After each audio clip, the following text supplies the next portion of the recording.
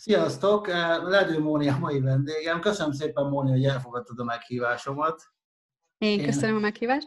Na, két nagyon fontos témát szeretnék veled megbeszélni, és akkor az első kérdésem az, kérdésem az hozzád, hogy te is mutatkozz be néhány szóba, aki még esetleg nem ismer, bár szerintem már ilyen nincs Magyarországon. Sziasztok, én Ledő Móni vagyok, okleveles élelmiszermérnökként végeztem, és aztán 2012-ben engem is beszipatott a pálinka világa, jelentkeztem pálinka mester szakmérnöki képzésre a Corvinusra, mint ahogyan a többiek is, és onnantól kezdve ez lett a végzetem. És 14-ben, amikor végeztünk, akkor én már láttam, hogy főzni nem szeretnék pálinkát, főleg anyagi hátterek miatt, és inkább a pálinka bírálatban láttam meg a számításom, illetve pálinkás ételeknek a készítésében. Úgyhogy én ezt a képességben fejlesztettem azóta. Én ezt a pálinkás ételekes témát, ezt nem olyan régen láttam tőled egy-két ilyen receptet, de igazából most, amivel készültünk, az az, hogy ugye a Facebookon ti nem is, tehát hogy régebben elkezdtétek ezt a Pálinka alakulat nevezetű Facebook csoportot, vagy Facebook oldalt. Én, én miközben beszélünk, én meg is osztom a képernyőmet, és megmutatom ezt a Facebook oldalt, hogy így néz ki a Móniéknek az oldala. Ez igazából elég jól úgy látom, hogy van rajta 8000, majdnem 10.000 like, meg követő, hogy azt szeretném kérdezni, Móni, hogy hogy alakult ez az ötlet, hogy hogy jutottatok idáig, hogy ezt megalapítjátok, és kik voltak a, a bűntársaid, tettestársaid ebbe, és hogy hogy alakul ez a alakulat? Tulajdonképpen ez is a főzéshez kapcsolódik, ugye pálinkalakulat.blog.hu néven indult egy ilyen főzős kis blogom, és azt kapcsoltam össze a Facebook oldallal, eleinte ételeknek a receptjeit osztogattam meg, aztán ilyen utazásokról beszámolókat készítettem, és aztán most már a Facebook oldal az önálló életre kelt, és most ilyen vicces fotókkal próbálom feldobni az embereknek a hétköznapjait, illetve pálinkás témájú cikkeket osztok meg, amivel próbálom így népszerűsíteni a pálinkát. Ami, ami a titok, hogy egyedül vagyok az oldal mögött, nincsenek társaim, úgyhogy teljesen egyedül szerkeztem és rakom az összetételt össze, úgyhogy így alakult a pálinka alakulatos oldalam. Ez mikor kezdődött egyébként? Ez több éves sztori. 2014-ben kezdődött a történet, akkor december 6-án Mikulás napján nyitottam meg az oldalt, és akkor azóta töretlenül megy.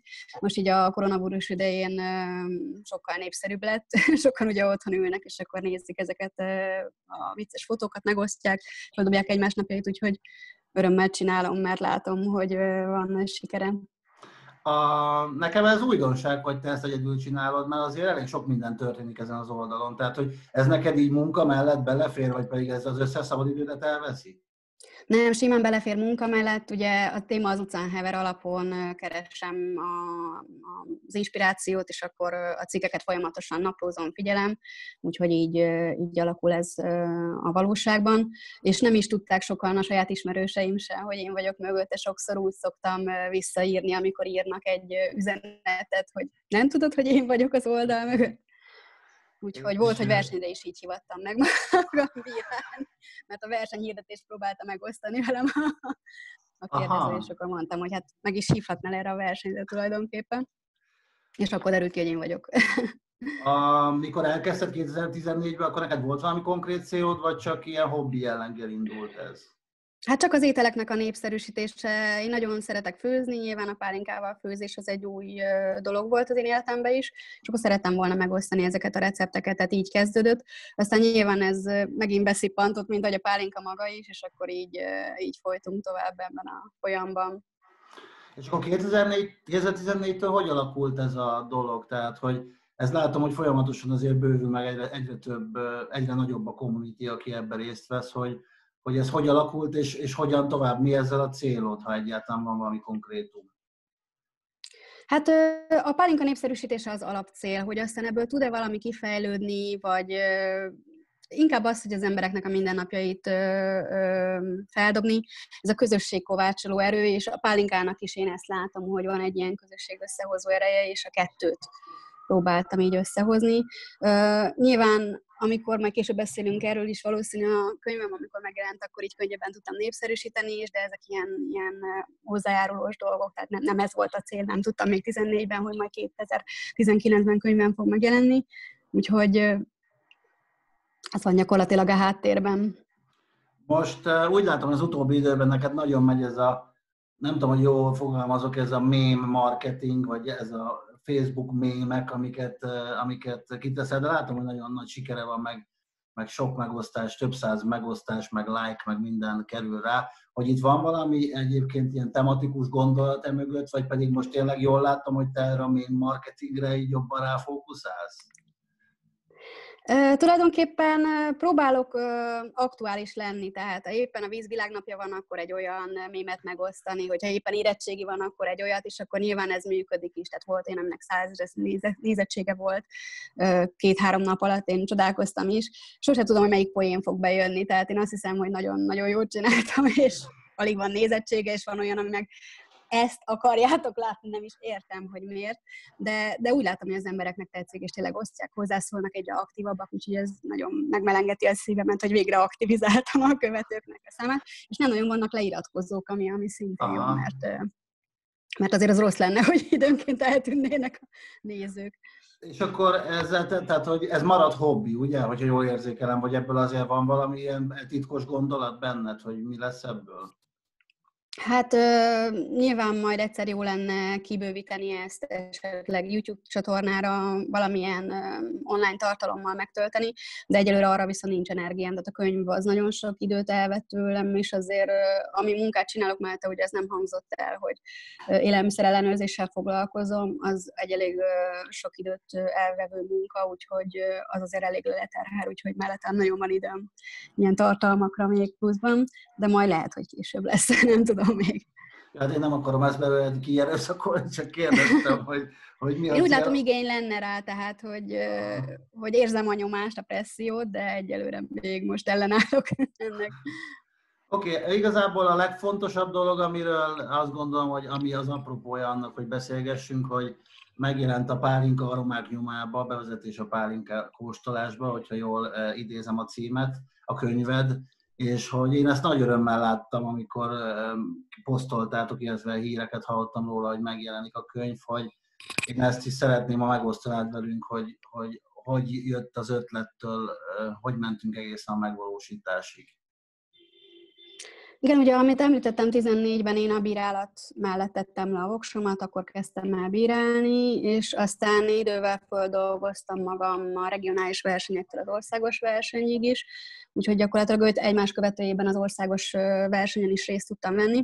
És gyakorlatilag 12 óta, amit összeszedtem tapasztalatot, azt próbáltam magamnak egy ilyen sorvezetőként összeírni egy kis füzetbe, hogy egyszerűen jobban tudjak bírálni. Kevés a bírálati lehetőség, kevés a tanfolyam, vagy túl költséges, túl messze kell utazni, és úgy éreztem, hogy én nekem muszáj fejlesztenem magam, mert ez egy ilyen élethosszig tanulási folyamat, tehát nem lehet azt mondani, hogy te most a kézbíráló vagy, folyamatosan új gyümölcsök jönnek a képbe, új típusú pálinkák jelennek meg, változnak a fogyasztói szokások, tehát folyamatosan fejlesztenünk kell magunkat, és ugye én mindig jegyzeteltem, amikor mentünk tanulmányi utakra is, mindenféle ilyen pálinkaklubos eseményeken is, és egy csomó sajszédula keringet itt a lakásban, és azt gondoltam, hogy akkor ezeket összeírom, és aztán annyira jól sikerült, meg annyira érdekelt a téma, nagyon beleástam magam, hogy gyakorlatilag ezt elkezdtem 17 nyarán, és a hát 19 végére fejeztem be, nyilván akkor már a könyvet, de körülbelül 300 oldalnyi anyag gyűlt össze, és az olyan fura lett volna, ha ülök rajta, és akkor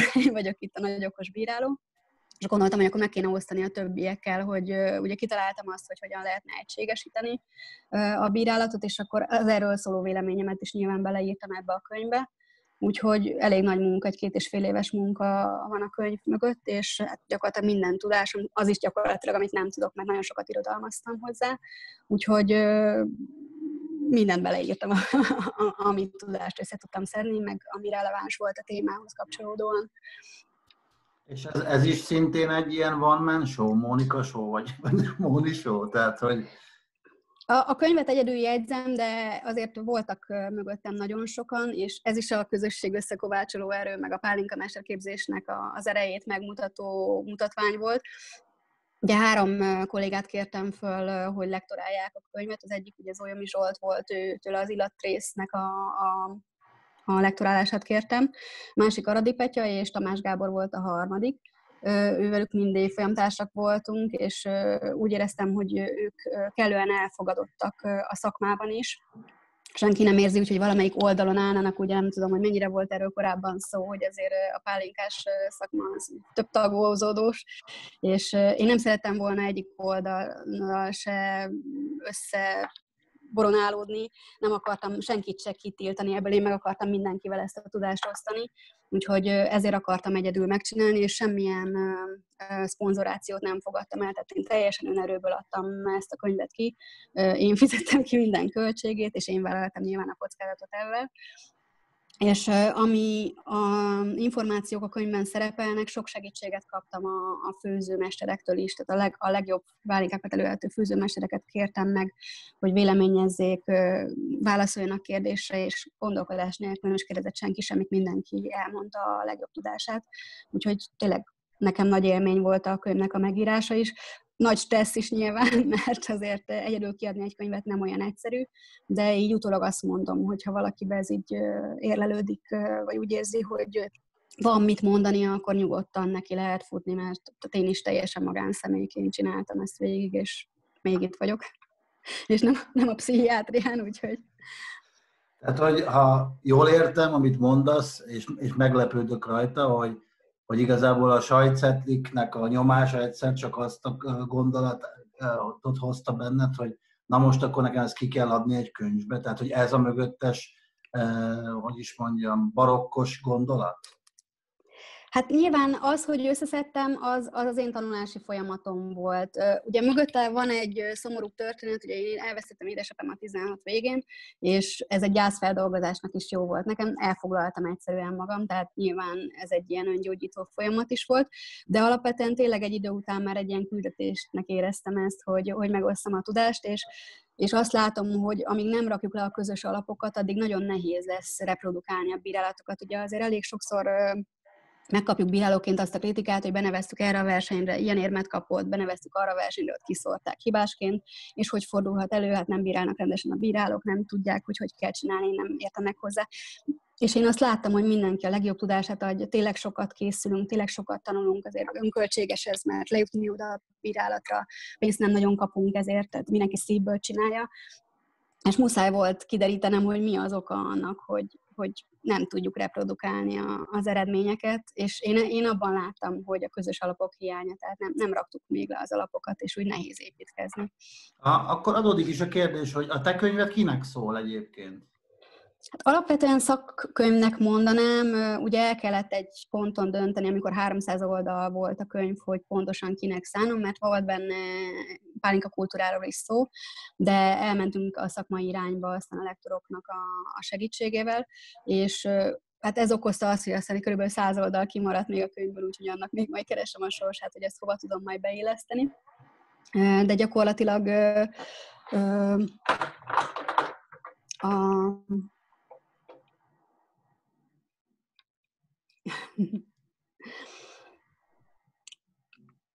Bocsánat. Ö, gyakorlatilag szakmai irányba készült a könyv, tehát pálinka bírálóknak, elsősorban pálinka versenyszervezőknek, olyanoknak, akik pálinka, hát hogy mondjam, kínálók, tehát szomeliék, pincérek, de vett tőlem sok ember olyan is laikus könyvet, aki nem nagyon volt a közel a pálinkához, csak érdekelte a téma, és ők is megtalálták a számításokat. Tehát sikerült egy olyan könnyedebb hangvételű szakkönyvet csinálni, hogy még ők is értik, hogy miről van szó benne. Úgyhogy ennek örülök nagyon, hogy, hogy sikerült. Hát, hogy akkor ezt a könyvet ezt a, ők, azok az emberek tudják forgatni a leghatékonyabban, akik egyébként bírálnak, vagy bírálni szeretnének, illetve azok a laikusok, akik egy-egy pálinkát szakértő szemmel, vagy szakértő orral szeretnének vizsgálni.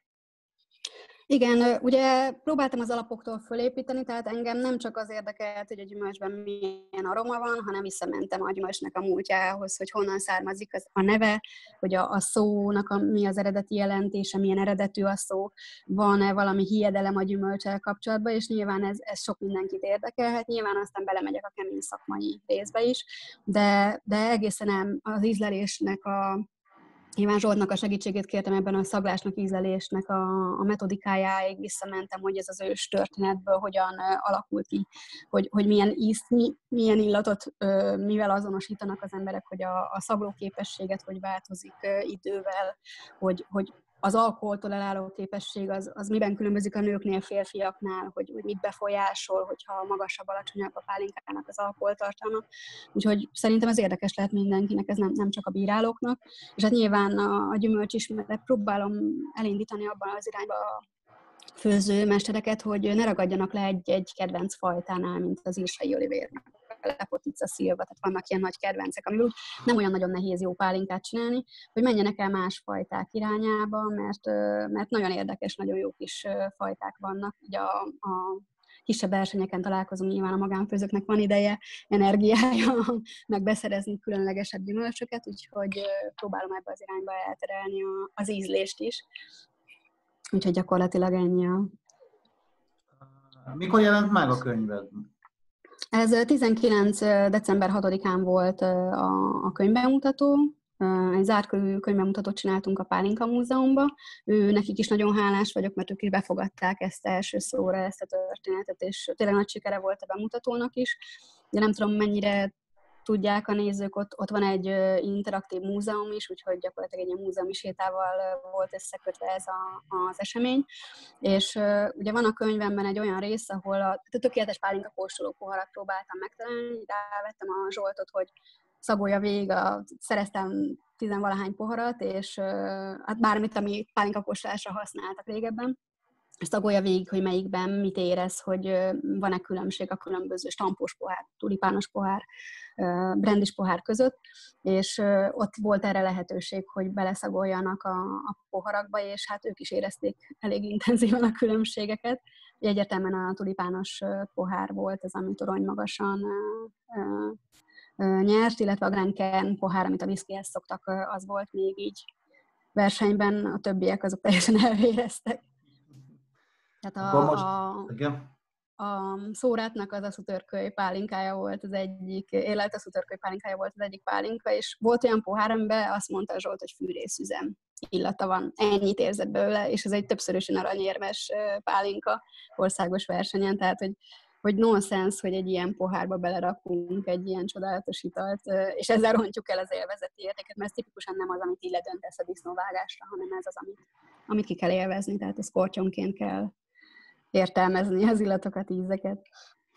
És ez a könyv, ez igazából ez papír alapú adathordozón jelent meg, vagy elektronikusan is elérhető? Ez papír alapon, egész véletlenül van itt egy példánk. Tudom, mennyire látszik. Wow, nagyon szép, nagyon szép így. Varadi Petit, Petit ér, ér, illeti az érdem, mert ő találta ki a dizájnt nekem, meg ő csináltam a grafikát, ha ő nem lenne, akkor nem lenne a könyv se, tehát ő neki álltam a nyakán gyakorlatilag novemberben már. Nagyon nehézkesen jött ez össze, de tehát akkor sírtam, amikor mondták, hogy készen lesz december 5-ére a könyv, mert hát ugye meghirdetük az eseményt, de akkor még nem volt kész a nyomda, azt csak megérte, és hát mondták, hogy a nyomda ördöge azért dolgozik, úgyhogy. És amikor Petya fölhívott, hogy üljek le, mert befogadta a nyomda, és, és készen lesz, akkor tehát tényleg ott sírtam, hogy de jó. És most hiszem el, hogy van egy könyvem, tehát ez hihetetlen még mindig. Tehát, hogy és nem is tervezett, hogy lesz belőle elektronikus verzió? Hát, hogyha elmegy az összes könyv, ugye 500 darabot csináltattunk, és abból egy olyan 100-150 van még hátra, elmegy, akkor lehet, hogy aztán elektronikus verzióba fog tovább élni, mert ugye mindenki kérdezte, hogy milyen könyvesboltokba lehet kapni, nem mentem be vele könyvesboltokba, mert olyan nagy hasznot nyúlnak le, és nem éreztem azt, hogy ebben az 500 könyvvel most hogy küzdenem kéne az elemekkel. Inkább én saját erőből értékesítem, ugye a Pálinka Online-nak az oldalán lehet még kapni, a negyereknél lehet még kapni, de pár helyen kihelyeztem az ismerősöknél, és hát viszik is, úgyhogy nem panaszkodom. Nyilván a karácsonyi szezonban azért jobban ment, de, de megy a híre, tehát most már nem nagyon hirdetem, és még mindig megtalálnak a vásárlók, úgyhogy Úgyhogy még van 100-150 példány, hogyha valaki szeretne belőle. Mondtad, hogy, jó ez mondtad, így. hogy a főzdéknek is a könyv, könyv után, vagy a könyvből lévő tapasztalatok alapján a főzdéknek is próbálta ajánlani, hogy ne csak a klasszikus gyümölcsökből, hanem próbáljanak meg egyéb kísérleteket is tenni, mert hogy jó, jó igen, lesz igen. a vége. Hogy az a kérdés merül fel bennem, hogy mik a visszajelzések egyébként. Tehát, hogy kapsz hideget, meleget, vagy csak meleget, vagy csak hideget? Csak meleget. Féltem nagyon, mert próbáltam azért az előszoba leírni, hogy én nem megmondó ember akarok lenni, tehát én, én, én ebben segíteni akarom, meg esetleg tényleg vitát generálni, és nem azt, hogy akkor most én összeveszni fülve fával, de, de tényleg csak pozitív visszajelzéseket, és mondom az úgy civil magánemberektől, akik nem pálinkás szektorból jöttek, azoktól is, olyanoktól is, akik magánfőzők most kezdenek, és tök hálásak, hogy végre megjelent egy ilyen könyv, és tudnak tanulni, olyanok is, akik már évek óta főznek, nem, nem gondoltam, hogy olyan, aki engem kéne, hogy tanítson, az, az vásárol tőlem könyvet, de, de mindenki talált benne olyan információt, amit be tudott építeni, föl tudott használni. Próbáltam úgy információkat berakni, 2008-as az a táblázat, ami kering még mindig a, a gyümölcs kihozatalról, hogy mennyi gyümölcsből mennyi pálinka készül, és hát nem tudom hányszor megosztják az emberek, és hát mindig belekötnek a főzők, hogy hát nem tudják ezeket a számokat hozni, mert megváltozott a gyümölcsnek az összetétele. Úgyhogy én megkértem a főzőmestereket, hogy a táblázatot aktualizáljuk, csináltam egy tervezetet is, és hát tényleg a, a Briltől az egy cseppen át mindenki mondott nekem egy-egy tanácsot, és akkor úgy csináltam egy új táblázatot, például ilyen, ilyen is került bele. Akkor a, a, a bírálatnak a metodikája, két, most amit alkalmaznak két nagyféle bírálati módszert, azoknak a, a metodikája, hogy, hogy leírtam azt, hogy ahhoz a pontszámhoz körülbelül mit kell annak a pálinkának teljesítenie, hogy azt is jobban értsék, hogy hogy kell pontozni, mert azért gyakran előfordul az, hogy elolvasod a, a bírálatot egy pálinkáról, viszont nem az a pontszám szerepel mellette, amit ez alapján én adnék arra a pálinkára. És ez, ez nyilván az, hogy ezt így helyre kell billenteni, hogy, hogy ki, ki mit gondoljon arról, hogy egységes legyen ez a bírálati metodika. Uh-huh. És ez a könyv ugye hosszú munka, meg sok energia eredménye, meg nagyon nagy, sőt saját erőfeszítés, ami szerintem egyrészt egyedülálló, meg példaértékű, hogy hogy ez a tudás és tapasztalat, arra gondolok, hogy ez, ez abban jó, hogy valakinek tudsz segíteni, aki mondjuk hasonló témában gondolkozik abba, hogy elindul egy, most nem tudom, egyszerű példa borral, vagy ginnel, vagy bármilyen hasonló témában, hogyha el akar kezdeni gondolkozni, akkor tudsz neki segíteni, hogy van annyi tapasztalatod, vagy pedig ez a tapasztalat inkább arra jó, hogy a, a a te könyved második része fog ebből egy ilyen nagyon, még, még jobb lenni, vagy nem? Tehát, hogy érted, hogy mit akarok kérdezni? Ö, nem tudom, hogy érted. Próbálok más területekre is betekinteni, a csoki bírálattól kezdve a borbírálaton át, a gin bírálaton át, de én azért a pálinkánál meg szeretnék maradni, és inkább ezt a tudást szeretném, ha nem is könyv formájában, hanem valamilyen online felületen, de egyre többen próbálnak nekem segíteni most, hogy látják, hogy hát egy ilyen zsandárként így előre mentem a tűzbe, és, és tényleg felajánlották magánfőzők azt, hogy versenymintákból egy pici mennyiséget, hogy meg tudjak szagolni, összegyűjtik nekem üvegekbe, elküldik, és, és próbálok ilyen profilokat létrehozni különböző gyümölcsfajtákra, mert, mert van olyan gyümölcs, ami megérdemli, hogy foglalkozzanak vele a nagy főzdék is, és én megértem azt, hogy a nagy rutin munka, mert a nagy mennyiség mellett nehéz még ilyenekkel is foglalkozni, de a fogyasztóknak is nagy élmény lenne, hogy, hogy nem mindig ugyanazokat az ízeket, hanem uh, új és új ízeket.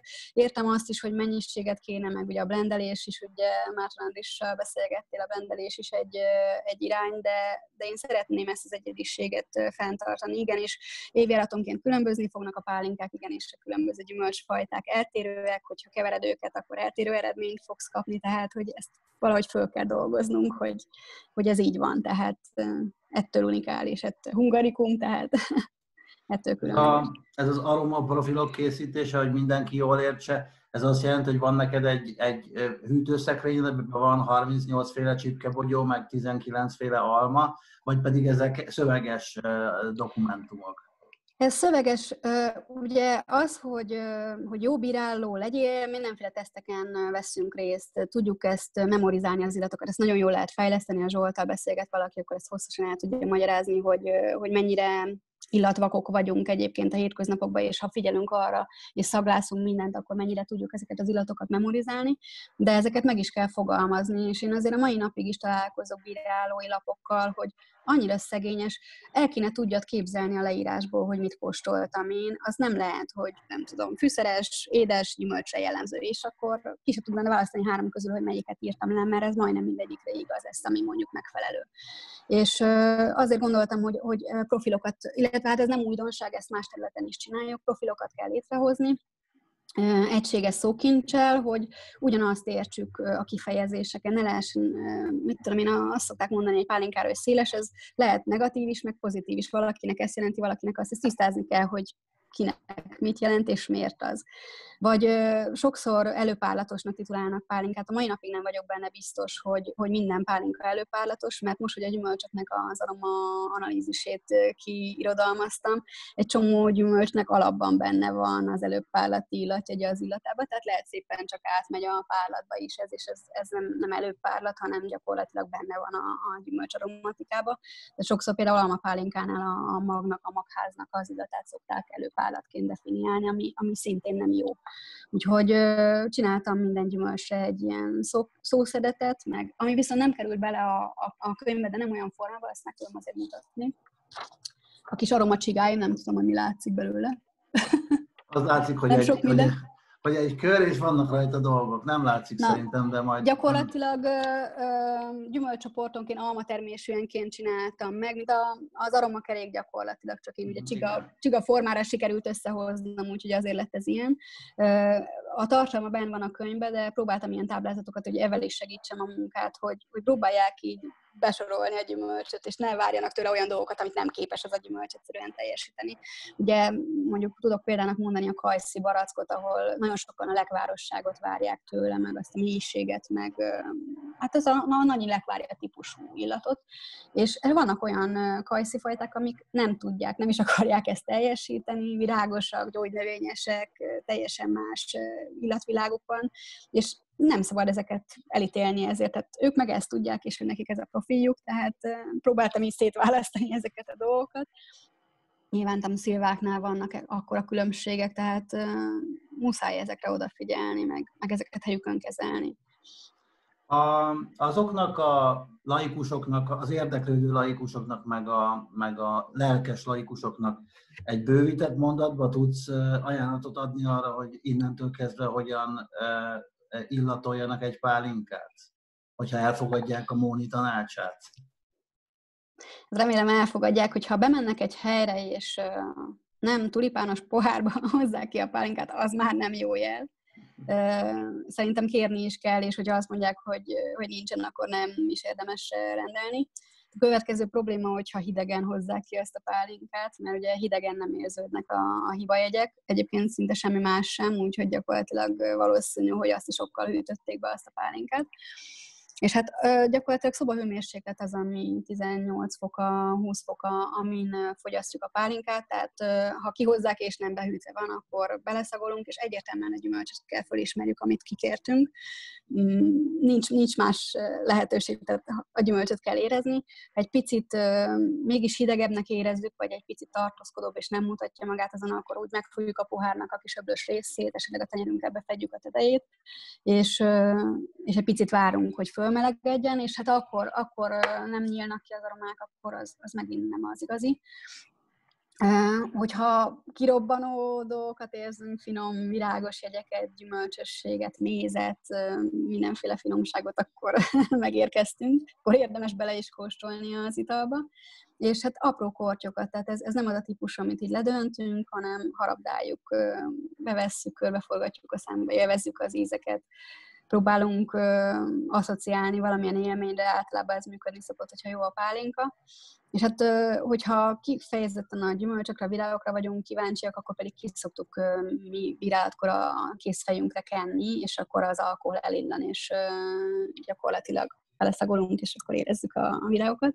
Ugye a pohárnak a kialakítása azért speciális, mert egy ilyen kicsit bővülő kürtőt alakít, és ha középre szagolunk bele, akkor, akkor nem az alkoholnak a kellemetlen szóró hatását érezzük, hanem akkor az aromákat, az alkohol pedig a, az üvegnek a falán eltávozik gyakorlatilag.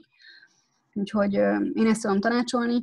Kezdők olyan 4-6 pálinkánál tovább, hogyha elmennek ilyen kóstolókra, ilyen vezetett pálinka kóstolókra, akkor 4 pohárnál szerintem többet ne, és ami jól esik, azt kell meginni, tehát nem, semmit nem muszáj, nem kötelező. Annyi fontos, hogy a vízbevitelre viszont nagyon oda kell figyelni, hogy a 8 10 mennyiségű vizet kell hozzá inni, és akkor az úgy nagyjából semlegesíti, kis kenyeret, kis sajtot, ami éppen ott az asztalon kering, vagy nyilván a vacsorát, gyakorlatilag röviden ennyit tudok elmondani a gyors talpaló pálinka Igen, ez, ez, ez, volt nekem, ez volt a best of gyors talpaló. Ilyen szépen összefoglalva, én még nem hallottam ezt. Tehát, hogy köszönöm szépen, és akkor utolsó kérdésem az, hogy, hogy mondtad, hogy egyik szemet sír, a másik meg most már nem sokára nevet, hogy volt egy, egy kezdeményezésed, amiről olyan sok mindent el sem tudunk mondani, de már úgy volt, hogy megvalósul, de nem valósult meg a ugye a bizonyos vírusos dolgok miatt, de igen, úgy igen. néz ki, hogy mégis megvalósul, és mondtad, hogy erről csak igen, nagyon szűk, szűkszavúan tudsz beszélni, de akkor ezt a pár szót én szeretném, ha megosztanád velünk. Igen, a sztorit elég régről kezdem, decemberben, illetve még novemberben, de decemberben sikerült eljutnom színházba, és ott nagy hatást tett rám az egyik produkció, és valahogy úgy éreztem, nem tudom, hogy hogy jött ez a fejlővés, de hogy nekem ezt a pálinkával valahogy össze kéne boronálni ezt az egész színművészetet, és magát a művészeteket fúzionálni. És hát akkor még úgy mindenki nézett rám ferde szemmel, hogy hát hülye, tehát hogy ez mi a jó Isten akar. És hát elkezdtük próbálni szervezni egy kedves barátnőmmel az eseményt. Egy vezetett pálinka kóstolás találtunk ki gyakorlatilag, és két színészt szeretnék beszervezni majd ehhez a pálinka kóstoláshoz, hogy a kétféle művészetet így összerakjuk. Ugye annyit elárulok, az egyik szinkron színész is, a másik pedig színész, és így, aztán három művészetet próbálunk meg fúzionálni, nem tudom, hogy majd hogyan sikerül, és nagyon nehezen tudtam elérni a színészeket, mert az elérhetőségeik azok korlátozottan elérhetőek, maradjunk annyiba, gondolom, hogy az őrült rajongók miatt. Úgyhogy nagy nehezen februárra sikerült lebeszélnem mindenkivel, hogy hogy, hogy működhet-e ez a sztori, és gyakorlatilag március 13-án pénteken még leültünk megbeszélni, megegyeztünk a részletekről, és aztán a következő héten pedig karantén lett, úgyhogy gyakorlatilag a május végére tervezett időpont az elhalasztásra került valamikor reményeink szerint ősszel fog megtörténni, és ez egy korlátozott létszámú rendezvény lesz, tehát körülbelül 50 fő az, akit úgy be tudunk fogadni. Azt éreztem, hogy ez még kellően intim tud lenni, viszont meg tudjuk osztani az emberekkel és szeretnénk ezt videóra venni, illetve különböző cikkek formájában, hogy tudjuk népszerűsíteni, és hát ha, ha jó lesz a visszajelzés, meg jól fog sikerülni, akkor szeretném bizonyos gyakorisággal majd későbbiekben megrendezni ezt, hogy más színészekkel, esetleg az életnek más területeiről, de mindenféleképpen fontosnak tartom azt, hogy, hogy a pálinka főzés az egy művészet, tehát én megmondom őszintén, amikor nem olyan nagyon jól sikerült pálinkával találkozom, akkor is megtisztelem a tulajdonost avval, hogy úgy írom le a véleményemet, hogy kulturáltan, korrekten megpróbálom építő jelleggel, és, és úgy veszem, hogy jól is esik, még hogyha nem is esik jól a kritika, hiszen magyarok vagyunk, és mindenhez értünk, de, de hogy, hogy fontos az, hogy, hogy mert sok energiát fektetett tehát összegerebézni a földről a, a vackot is munka, tehát azt meg kell tanítani igenis, hogy most már elment az az idő, amikor azt használjuk föl, meg a hordóba belehullott gyümölcsöt, és egész nyáron hogy gyűjtsük a cefrét, hogy utána majd kifőzzük a valamit, amit nem tudom, minek lehet nevezni. Úgyhogy muszáj. Én annyira örülök, hogy te is így ilyen, nem is tudom, profétája vagy ennek a pálinka, pálinka kérdésnek itt Magyarországon, úgyhogy nagyon, nagyon a szívemen viselem én is, úgyhogy köszönöm szépen Móni, Ledő Móni volt a vendégem. Köszi Móni. Köszönöm én is, sziasztok!